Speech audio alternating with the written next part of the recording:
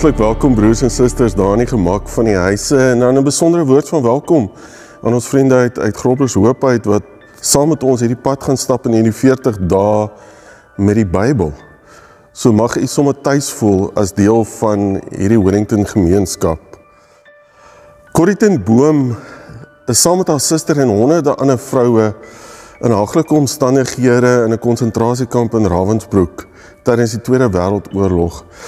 Hulle kry dit reg om 'n klein Bybeltjie in te smokkel in hierdie konsentrasiekamp. En sy skryf in haar boek in die skuilplek oor wat is hulle ervaring met hierdie Bybeltjie in hierdie konsentrasiekamp en ek wil dit graag vir u lees. Maar na mate die res van die wêreld al hoe vreemder word, word een ding vir my en Betsy al hoe duideliker. Die rede waarom ons twee hier is, waarom ander moet ly, dit weet ons nie. Maar wat ons betref, vanaf die oggend totdat die ligte afgeskakel word en wanneer ons nie in gelid staan of moet loop nie, is ons Bybel die middelpunt van 'n steeds groeiende kring van hulp en hoop.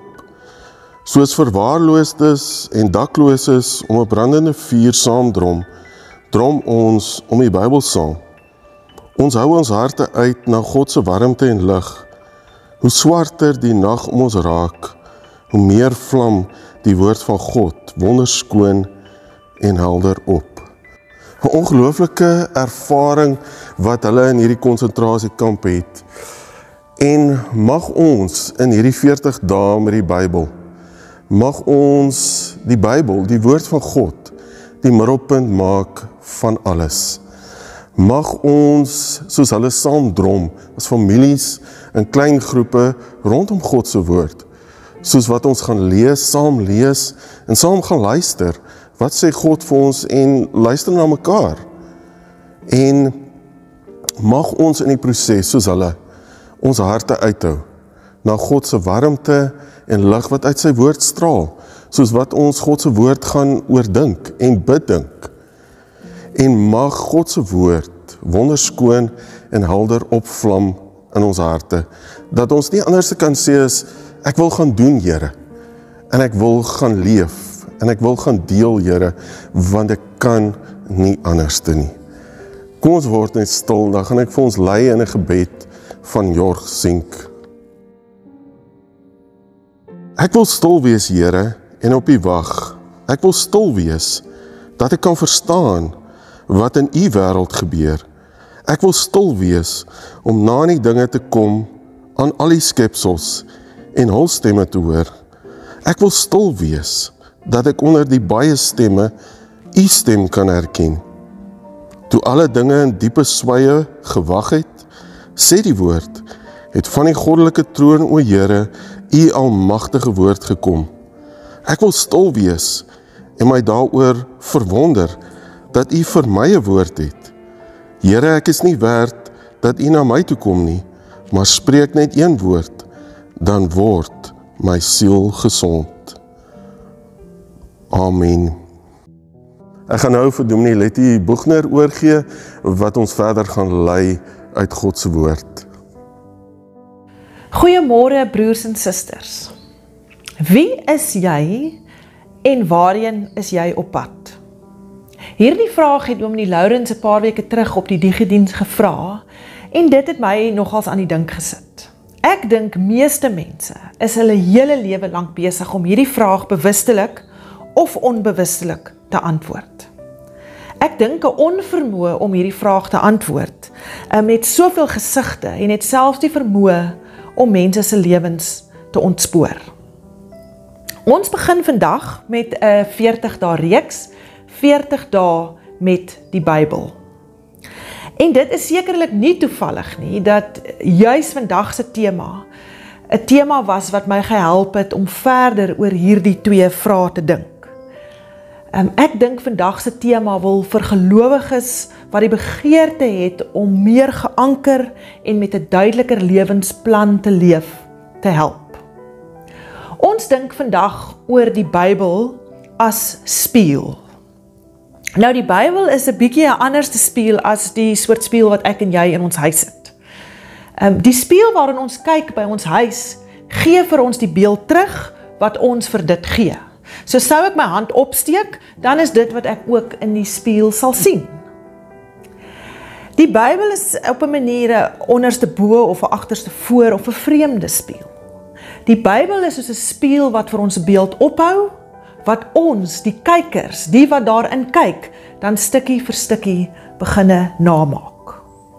Die Bybel het verskillende plekke waar dit um oor 'n spieël as beeld praat en in hierdie week gaan ons jou nooi om na 3 van hierdie gedeeltes te kyk. Hierdie gedeeltes vind ons in Jakobus 1 vers 21 tot 25 1 Korintiërs 13 vers 8 tot 13 en dan vandag se teks wat ons kry in 2 Korintiërs 3 vers 18 tot 12. Op elkeen van hierdie plekke um, word die beeld van spieël baie berekend en baie doelbewus gebruik. Maar dit het elke keer 'n ander betekenis met 'n eie punt en 'n eie toepassing. Daarom gaan ek nou vir Dominee Cornus vra om vir ons 2 Korintiërs 3 te lees. Vriende, ons lees vandag uit 2 Korintiërs 3 van vers 12. Omdat ons hoop hierop gefestig is, tree ons met groot vrymoedigheid op. Ons is nie soos Moses wat sy gesig met 'n sluier toegemaak het nie. Dit moes hy doen om te verhinder dat die volk van Israel sou sien dat die ligglans aan die verdwyn was. Hulle verstand was ook toe en vandag nog bly hulle verstand met dieselfde sluier toegemaak as hulle die Ou Testament lees. Maar die sluier word deur Christus weggeneem vir iemand wat in hom glo. Maar vandag nog, elke keer as die wet van Moses voorgeles word, is daar 'n sluier oor hulle verstand.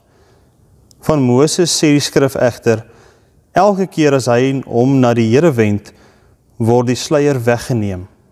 Die Here beteken hier die Gees en waar die Gees van die Here is, is daar vryheid. Ons almal weerspieël die heerlikheid van die Here. Want die sluier is van ons gesig af weggeneem. Ons word al meer verander om aan die beeld van Christus gelyk te word. Die heerlikheid wat van ons uitstraal, neem steeds toe. Dit doen die Here wat die Gees is.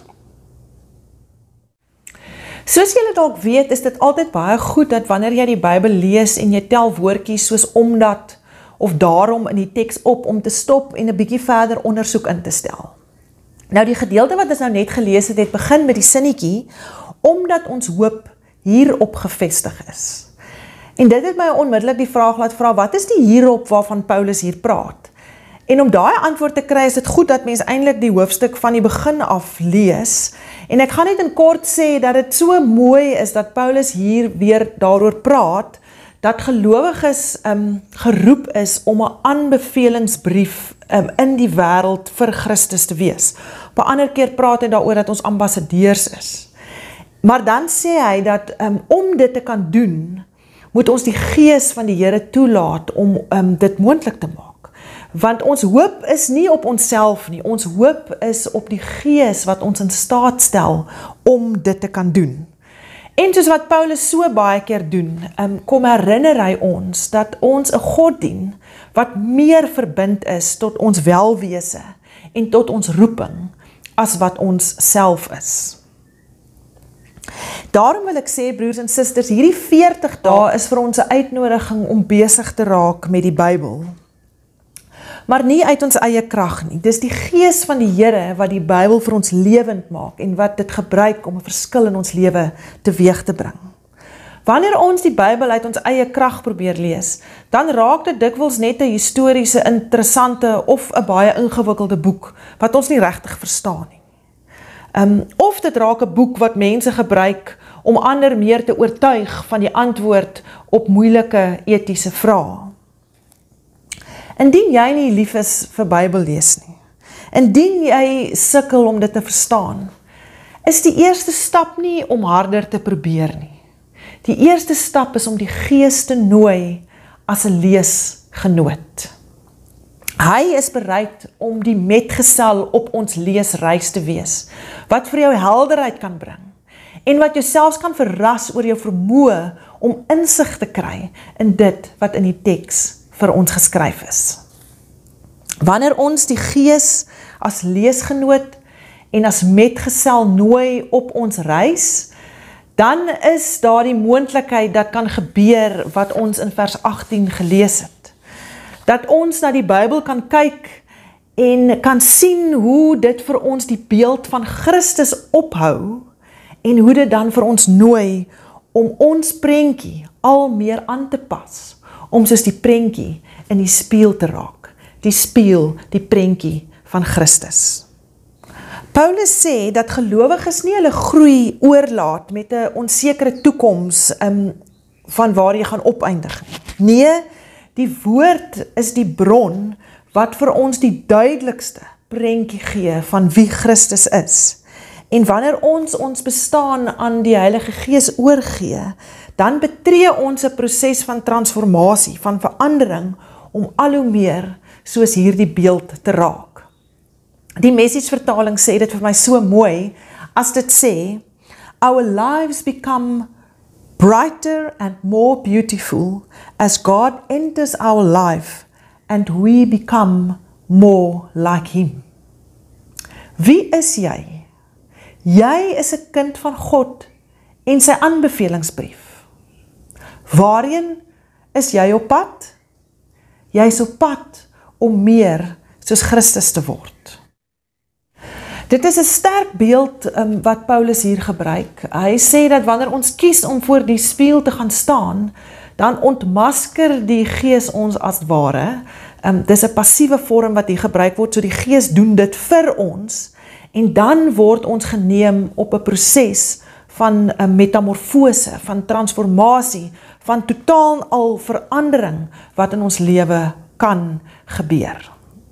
Nou hieroor het ek net gedink om te sê dat as enige gelowige ooit op 'n plek in sy of haar lewe kom wat ons sê nee, maar ons sit dit nou onder die knie en daar's nie meer groei moontlikhede nie, dan is ons op 'n baie gevaarlike plek.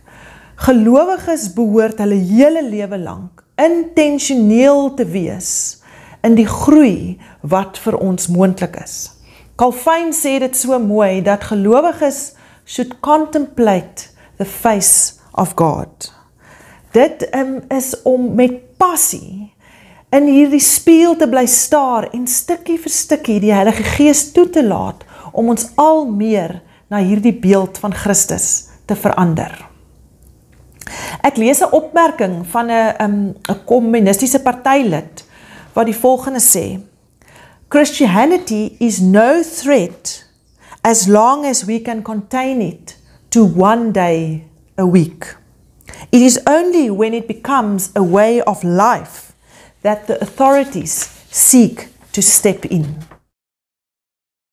Paulus nooi ons tot 'n intentionele transformasie wat ons geloof verder en wyeer deel van ons lewe maak as moontlik die 1 uur of die bietjie in die oggend wat ons met godsdiens tyd spandeer.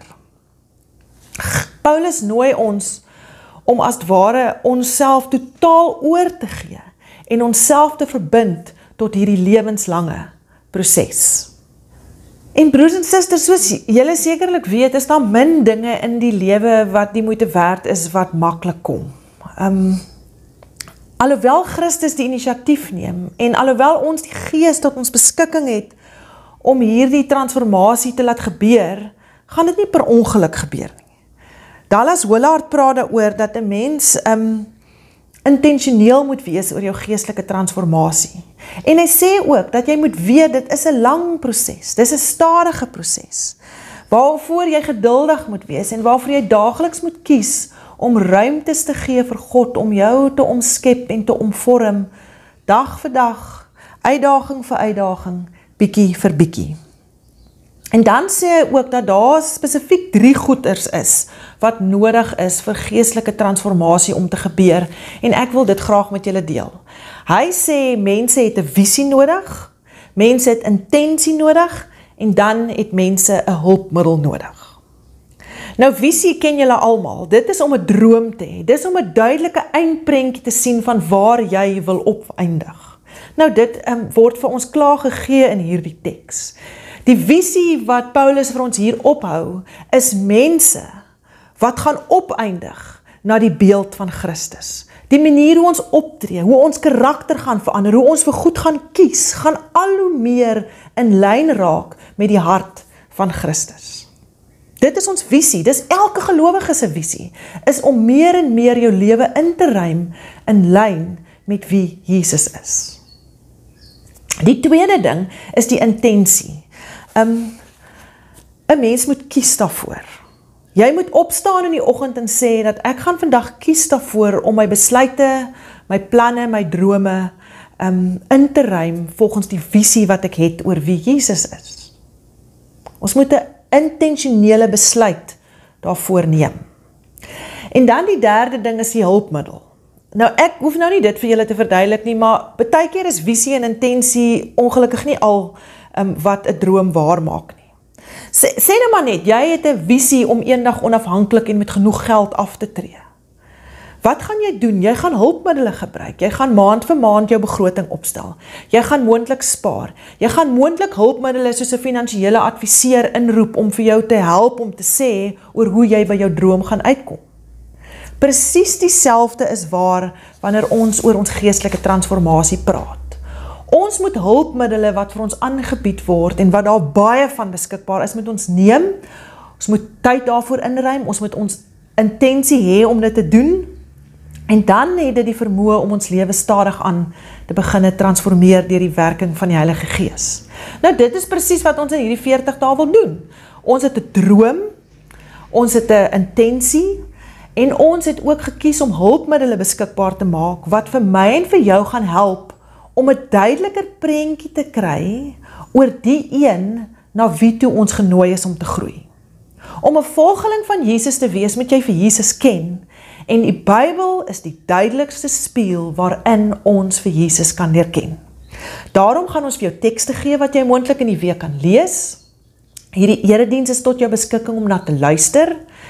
Daar word elke oggend 'n dagstukkie uitgestuur wat ons jou wil nooi om regtig nie net in jou bed te lê en te lees nie, maar die gedeelte in die Bybel op te soek, regtig daarmee te sit en daarmee tyd te spandeer. Um, ons stuur vir jou 'n doen stukkie, 'n materiaal wat jy kan gebruik um, in jou familie. En dan is daar ook 'n deelgeleentheid op 'n donderdag aand waar die hele geloofsgemeenskap die geleentheid het om op Zoom in te skakel sodat ons met mekaar ook kan deel wat die Here in ons lewe wil doen. Dit is hoe Dallas Willard sê 'n mens groei. Jy het 'n visie, jy het die intensie en jy kry hulpmiddels en jy gebruik dit om jou daarmee te help. Broers en susters, hierdie 40 dae wil jou help um, met hulpmiddels en met die geleentheid om meer intentioneel besig te raak met die woord van die Here. Die woord wat met die werking van die Gees regtig die vermoëns het om lewens te verander. Jy kyk dalk in die spieël en jy sien niks. Die prentjie um, het dalk vir jou dof geraak. Jou gevoel van waarde is dalk min. Kom saam met ons op reis. Neem hierdie hulpmiddels op en ek verseker jou, jy kan dalk verras word. Ek sluit af um, in my nadenke oor God en ons reis met hom stukkie vir stukkie, dag vir dag om meer en meer um soos Christus te begine lyk en op te tree. Het my laat dink aan 'n gedig wat Pieter Fourie vir my pa geskryf het vir sy begrafnis. Hierdie gedig sluit af met die volgende woorde: Elke jaar as die bome op Berlida bot, sal ons onthou jou lewe was een lang afspraak met God. Jy is genooi. Jy het 'n afspraak om dalk vir 'n slag goed in die spieël te kyk en Christus te leer ken. Jy mag net verras wees oor hoe God jou kan maak wie jy veronderstel is om te wees. Amen. Broers en susters, kom ons word net stil en sluit as die oë. Vader, dankie dat U ons na U beeld geskaap het, wonderbaarlik aan mekaar gewewe het. Dankie dat in die begin was U woord daar en die woord was by U en die woord was U. Want die woord was sentraal. Here, as ons vandag sê dat U woord is 'n spieël, dan moet ons baie keer eerlik wees met onsself ook as ons in hierdie spieël kyk, as ons in die woord kyk, is dit baie keer vir ons 'n dowwe prentjie. Ons verstaan nie altyd nie. Maar mag ons saam met Paulus sê, Here, kom lig die sluier. Kom haal sommer net die skille van ons oë af dat ons U helder en duidelik in U woord kan sien. 'n nuwe reis, 'n nuwe ontdekking saam met U en wie U is. Soos soos Paulus ook sê, Here, ek wil net ek wil net verstaan, ek wil beter verstaan wie U is. Mag U ons elkeen na U beeld transformeer sodat ons gelyk word aan U beeld. Mag ons soos Johannes sê, Here, ek weet ek moet minder word en U moet meer word. Ek wil meer van die heerlikheid hê. Ek wil meer van die heerlikheid beleef. En daarom Here, mag ek van heerlikheid tot heerlikheid groei in U. Mag ons dit saam beleef in in hierdie 40 dae soos wat ons omgaan met die woord. Sodat ons Here net in die volheid kan lewe, soos Paulus sê, van wat U vir ons elkeen het, 'n lewe in oorvloed. Ons vra dit in Jesus naam. Amen. Dit is dan nou die gedeelte in die erediens waar ons gewoond daarin is om dankoffers op te neem. En ek wil 'n gedeelte lees wat oorlede Annelies Wet geskryf het. Waar sy geskryf het ek is geseën om te seën en sy skryf hierdie volgende aangrypende woorde in haar lied waar sy sê jy's geseën om te seën Jy het gekry om te gee. Jy leef om jouself vir ander te gee. Jy's geroep om te kom en gestuur om te gaan. Jy is geseën om te seën. En broers en susters, dankie vir elkeen wat 'n seën is. 'n Seën is tot ander mense en 'n seën is vir ons as gemeentes dat u bereid is om van u self ook te gee, van u finansies te gee sodat ons God se roeping in ons gemeenskap en die breër koninkryk kan uitleef. Nou daar gaan nou geleentheid wees waar u op die skerm sal sien en ek kan sommer die posknopie druk dat daar is die elektroniese inbetaling opsie of dan die Zapper opsie wat u van kan gebruik maak indien u so voel om nou van hierdie geleentheid gebruik te maak.